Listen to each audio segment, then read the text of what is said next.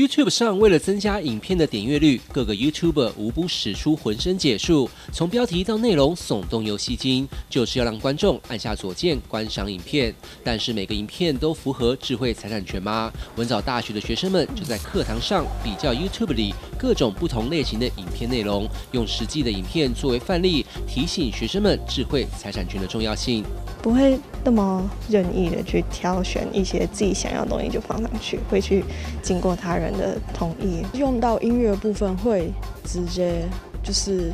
私讯就是著作人说：“我可以使用你音乐的几秒到几秒吗？”学生们都有不错的观念，只是随着网红产业的兴起，盗用他人智慧财产权的事件却频传。最出名的当然是古阿莫五分钟看电影的版权争议。文藻大学希望透过相关的课程，除了教导如何创作影像之外，更重要的是要让学生们清楚了解搜集素材的合法性。现在网络平台上确实有很多的网站，甚至网红，他们没有自己制作素材出来，都是使用别人的素材、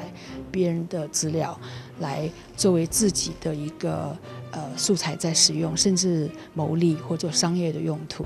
但是这一块其实是触及到法律方面的，因为那些素材其实受到著作权法保护的，只是说他使用别人的东西，人家有没有去告他？其实不管是内容农场还是二次创作，都或多或少涉及版权的争议。除了规范之外，主要还是得靠创作者的自我要求以及对于智慧财产权的重视。学校期盼透过课程，除了让学生们借由讨论激发创创意，体会影音创作的辛劳之后，进而尊重他人的智慧财产权，同时让学生也能够获得更多媒体制作以及素材辨识的能力。